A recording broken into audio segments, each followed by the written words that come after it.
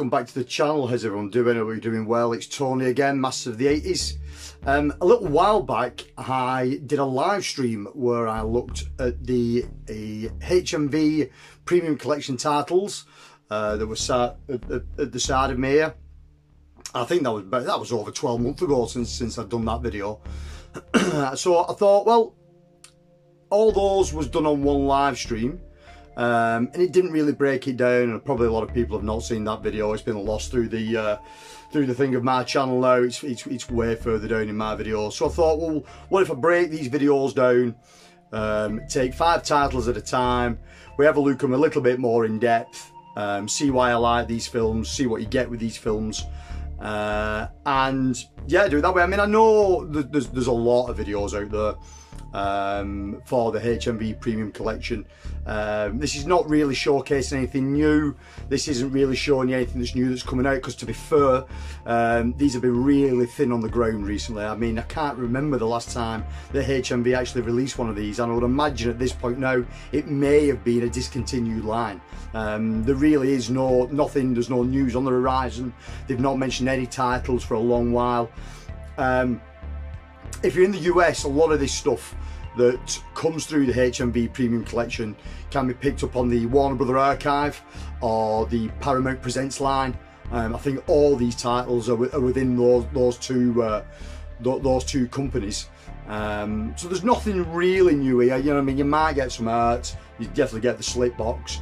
Um, there's art cards and there's a few other things. But what HMV did for the for the period of time that they did these, they're they're a nice addition to the collection. They look good. The, the, you get decent value for money on them. Uh, when it becomes sale time on these, it's normally two for fifteen pounds. Um, and there is titles in there that, that suit and cater for everyone's tastes and needs. Um, there's a lot of stuff in here that I never pick up. They did a hell of a lot of film noir, which I have no interest in. They did a hell of a lot of um, westerns, which I have I have no interest in. Um, you know what I mean? But but then again, they did a hell of a lot of, of old cult classics, 70s and 80s, early 90s stuff within this range, which I loved. Um, so there, there is something within this range for absolutely everyone. And I thought, we'll sit back, we'll have a look at what's in my collection. Uh, I'll do five titles at a time, so I'm not dragging these videos out forevermore. Uh, and we'll go from there with it. Um, so we'll have a look at, I mean, again, if, if you're into collecting and you're a completionist, which I'm, I'm not, um, these are numbered um, on the spine. So this being number one. Um, so again, if you want the collection, you, you, can follow on with the numbers so you know what you're missing. Um, but again, that's, that's not the way I collect. It's, it's, it's, it's pointless to me doing things like that. I'd, I'd, end up with a load of films that I don't like, don't want, just taking up space. Um, so what I've got here are the films that I see fit. So I have in my collection the films that I like, the films that I love. Um, there's, a, there's, a, there's a couple of titles missing. Obviously, next when the next sale comes around, I will I will pick some up. Uh, there's a couple of rare Harryhausen titles that, that I've not got in here. Um, uh, Beast from 20,000 Fathoms I haven't got. Uh, the Valley of Gwangi I've, I've not got either. So when they come back on uh, on the 2 for 15, uh, they're, they're definitely two titles I pick up. Uh, another one recently that I always thought it was a different film to what it was. Uh, it's a film called Time After Time.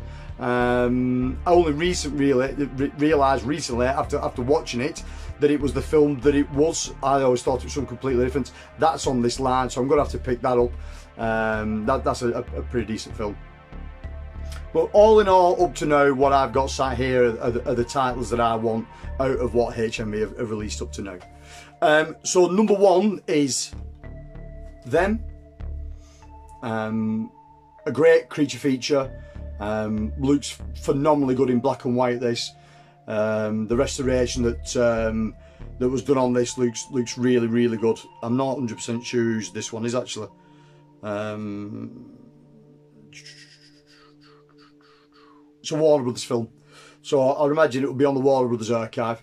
Um, yeah, a 50s sort of creature feature sci-fi film about some um, irradiated ants that uh, grow to mutant kind of size and, and start devouring people of a small town. Uh, fantastic film if you've never seen it. Uh, the sound effects on this are, are superb. Um, the actual visuals of the ants, the actual models and and animatronics and costumes, everything they use for the ants in this is is, is really really good for the time. Um, I, am a sucker for anything like this anyway, uh, but them really stands out as a as a good one.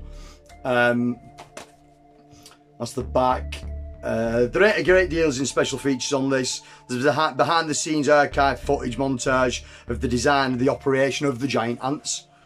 Um, so those slip boxes that you do get with the, with the premium collection line.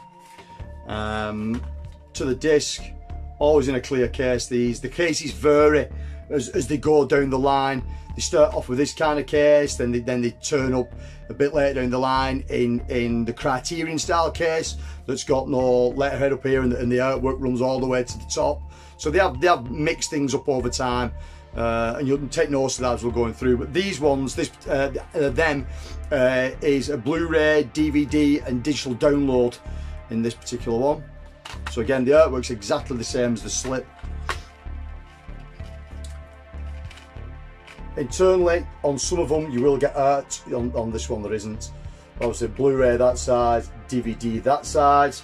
Uh, this particular one um, obviously, the uh, the download code. I mean, that one's probably not valid anymore. That that download code. And obviously, in this particular pack, there is art cards. These are sealed. Uh, the gen generally four to five art cards in these, and the, the postcard size. Um, but the artwork's generally got on the, the sort of high resolution pictures. Um, but then, yeah, if you've, if you've never seen it, you need to sort of black and white 50s creature feature, sci-fi kind of stuff, check it out. It's, uh, it, it's one of the better ones. So that was number one in the range. Number two in the range is Forbidden Planet. Um, I was weaned on this film. Um, I, I love this film. It's, it's one of the best sci-fi films ever made. Um, it's loads of fun. It's a young Leslie Nielsen in this. Um, I was weaned on this film through the CD format. My family owned a CD player when I was when I was a lot younger, uh, and one of the titles they had uh, for the machine was was Forbidden Planet. That that was my first introduction to this film, and I watched it every Saturday around my grandparents' house. Um, amazing film, amazing visuals, amazing sound effects, um, good storyline. Great sci-fi film if you're into this kind of stuff. It looks phenomenal on Blu-ray. Uh, I mean, that artwork alone on the front says it says it all for me with, with Robbie the Robot on there. Um, but again, uh, this one was Blu-ray, DVD and digital download. Again, artwork's exactly the same as the slip box. Um, digital download. Cards, which again I haven't opened. But again, that that uh, that artwork on that is, is phenomenal. Blu-ray DVD in there. Again, no artwork on the back of that one. And you you will change. You will see these change as we as we start having a look at them. Um, why they decided to change things at certain points of time, I'm I'm not 100% sure. Um, well, special features on this one. Uh, uh, there's there's a few bits on here. Um, there's deleted scenes and lost footage. Uh, there's two follow-up vehicles starring Robert the Robot, uh, feature film The Invisible Boy, the, the Thin Man TV series episode uh, from Robot Client, uh, the TCM original documentary Watch the Skies, Science in Fiction, the 1950s and Us, two featurettes, amazing, um, exploring the far reach of Forbidden Planet, Robbie the Robot, engineering sci-fi icon, um, and experts from MGM Parade TV series. Um, so that's a nice little release. Um, and again, if you've never seen this film and you are a sci-fi sci-fi uh, fan, uh, check it out. It, it, it, honestly, you you will absolutely love it. it's great. Um, so that was, number two in the range. Uh, number three in the range, real real favourite of mine now. Um, number three, and that is the Omega Man, Charlton Heston. Um, brilliant film an adaptation of the Last Man on Earth. Um, then there was a film, Last Man on Earth, with Vincent Price. Uh, that got the black and white treatment back in the day, then got colorized. Uh, and then this came out uh, in the 70s. and then Will Smith did I Am Legend, but all based off the same story, um, all based around the same sort of character um, from The Last Man on Earth. Uh, but this, in my in my opinion, is the is the best of the lot. Charlton Heston's really good in this. Um, that's the back of the slip. Again, uh, it's exactly the same on the box. Digital downloads, the they're the art cards. Again, not opened. Blu-ray, DVD. Um, again, it, you know what I mean? It, whether this holds up to, to a, a, a, younger set of eyes, to a more modern audience, I, I, don't really know. You know what I mean? Yeah, you maybe have to be a bit of a Charlton Heston fan to, to, to appreciate this one. Um, but I truly love it. This one sort of uh, reminds me of, of, late night TV in the UK. Uh, certain channels uh, sort of Thursday nights, Friday nights, Saturday nights, Sunday nights from the UK would show old cult classic films, and this one was was was always on there. Um, it was a, a, big nostalgia thing for me back back in the early 80s, mid 80s, um, early 90s, uh, watching this one, Omega Man, Charlton Heston. That was number three. Uh, another Charlton Heston film. This is number four in the line. Um, not as good as the Omega Man, but still entertaining if you're a sci-fi head. Uh, that's Soylent Green. Um, again, if you've never checked this one out, um, it, it, it's definitely worth a watch. Bit post-apocalyptic. Um, Charlton Heston. Um, in this one, he, he starts off as like a government agent and then sort of like turns a bit of a rebel into it. Um, if you know the the end of the film, I won't spoil it because it will spoil it if I tell you. Uh, the ending of the film flips everything on its head and it, it's really good. You sort of know where it's going throughout the film, but the end of it is, is, is really good and it, it just stops. It finishes. There's no dramatic ending. He finds out and boom, finished, off, gone. I, I thought the ending to it was, was great. Um, again, this one, everything that's in it, digital downloads and all that uh, cards, again which I haven't opened, Blu-ray and DVD. Um, there are quite a few Charlton Heston films within this uh, within the, the, the premium collection. Um, well, well, Green was up there with a, a, another favourite of mine.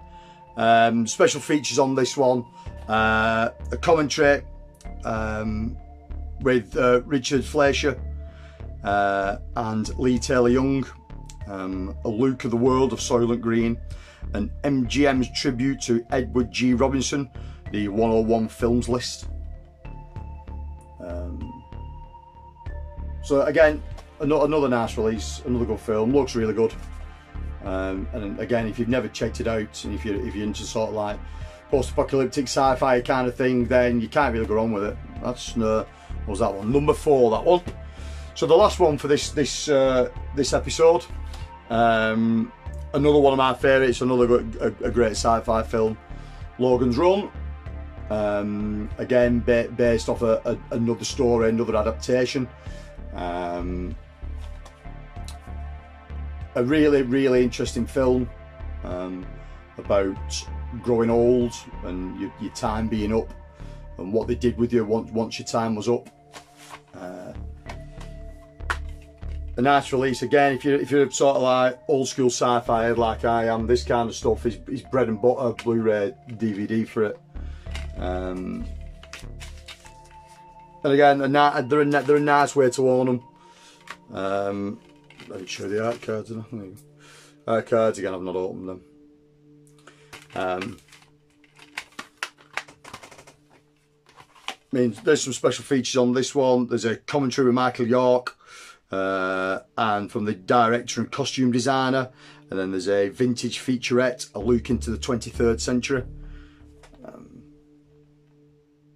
well, that's Logan's Run. That was number number six. That one, number six in the line. Uh, and again, the artwork on these is always always really good as well as.